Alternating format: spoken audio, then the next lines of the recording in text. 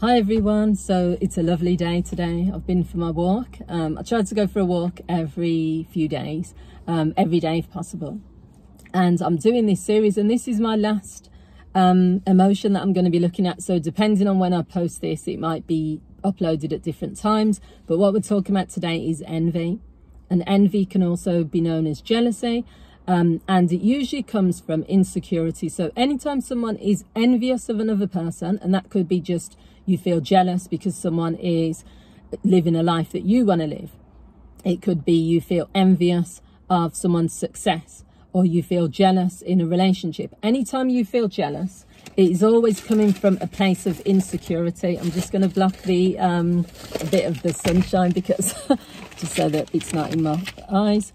Um, so yeah, it's always coming from a place of insecurity, and that's because if you have to look at another person or you have to try to control another person through jealousy or look at another person and feel envious of them and not be able to celebrate or enjoy um, the experience they're having, then usually it's because you're insecure because you either feel that they have something that you'll never have, because you're scared of losing the person, or just because you just can't be happy and content within yourself because there's no re real reason to be envious of another person.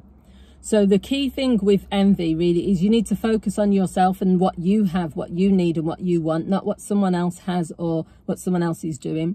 It's a quick and simple way to stop being envious because if you see that another person is growing and developing or achieving things, then that's their journey, that's their life. There's no need for you to be envious, whether that's sibling rivalry, whether it's a partner that's doing better than you, whether it's just a stranger, there's just still no reason for it. So if you just focus on yourself and what it is that you want, the other thing is just realize that em being envious and jealous just distracts you from your own life. Because whilst you're so um, focused on, oh, I wish I had what that person had. So that's like a classic example of envy. Or, you know, I'm so jealous of my partner, how much attention he or she gets.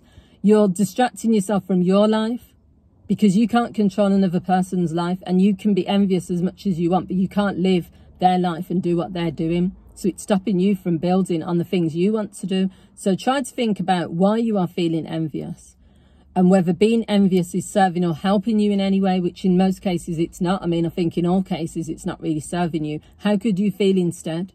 So instead of feeling envious, how could you feel? How could you switch that to an emotion that actually does help or serve you? Could you see as I'm inspired by this person because of what they've got? So I'm going to then, that will help me to build a life that I want. You know, they've inspired me or motivated me. So the other last thing to think about is envy and jealousy when you have that emotion is an energy. It's an energy force. So it means that your energy is then going to be translated into other areas. So if you're an envious person and you just spend all your time being jealous of what someone else has or trying to control someone, then you're going to experience that type of energy in your friendships, you're going to be that type of energy when you're uh, with family or with friends. You're just going to have that negative, um, you know, on edge energy. And it's the same as with some of the other emotions I've spoken about. So if you were to say that I don't want that energy, you know, that's not an energy that I want to put out there, then that could also be another route to you not being envious or jealous anymore. So I hope you found this video useful. I hope you found the series useful.